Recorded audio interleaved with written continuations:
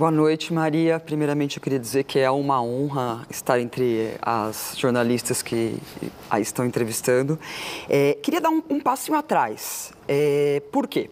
A Vera disse muito bem que o seu livro, Como Derrubar um Ditador, principalmente para nós jornalistas, ele traz muitos gatilhos, porque nós vivemos todo esse processo, de, primeiro de encantamento com as redes sociais e depois é, de, de, de, ver como as redes sociais transformaram e, e são usadas, como você diz no livro, como alto-falantes para o discurso de ódio, a desinformação e as teorias conspiratórias.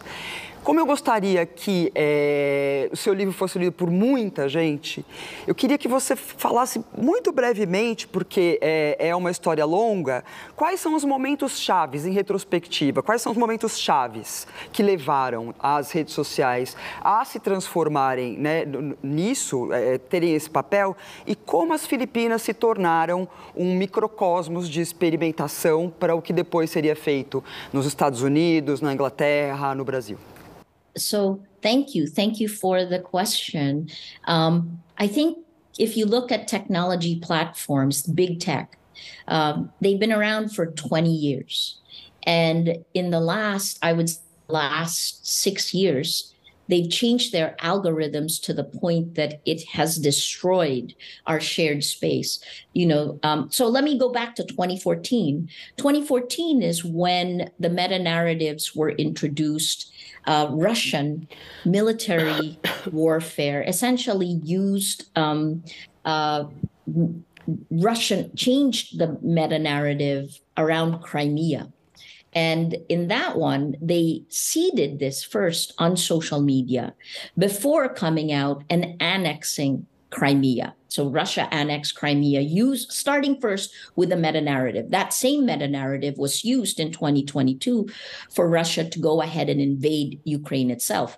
In the Philippines in 2014, we had Ferdinand Marcos Jr.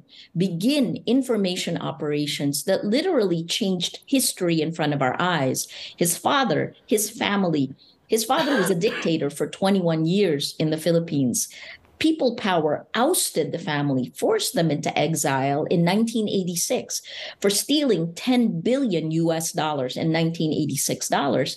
And starting in 2014, we saw information operations that changed our history in front of our, si- our eyes. Think about Milan Kundera, right? He said that the struggle of man against power is the struggle of memory against forgetting. But here you go, it's being changed in front of our eyes. We're forgetting because information operations is literally treating us like Pavlov's dogs. Right. So, um, fast forward, what happened in 2016?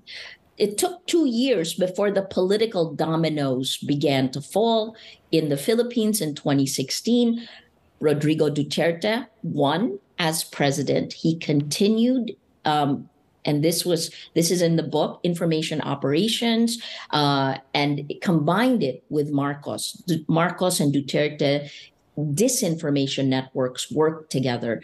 Um, 2016 is when the political dominoes began to fall. The philippines in may less than about a month later you had brexit and then you had all of the elections coming forward. Ending in in november it was donald trump elected in the united states. Again very similar. Cambridge analytica was was critical in this. And what's so interesting with cambridge analytica is that um, the united states had the most number of compromised accounts but the philippines was number 2 mm-hmm. right why the philippines because by 2017, 100% of Filipinos on the internet are on Facebook.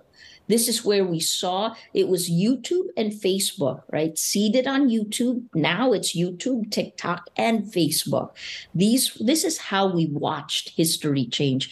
Finally, I would point out in 2018, after Cambridge Analytica, after that became a global story, the platforms change their algorithms one more time, and they keep doing this to tweak news out of the feed. They never tried to make a distinction between fact and fiction. In fact, the fiction spread faster, right? And by doing that, they have now doomed us in the next level of technology. If the AI is fed lies, cannot tell the difference between lies and facts, how will that AI then order the world? This is a fundamental flaw in the technology we're using.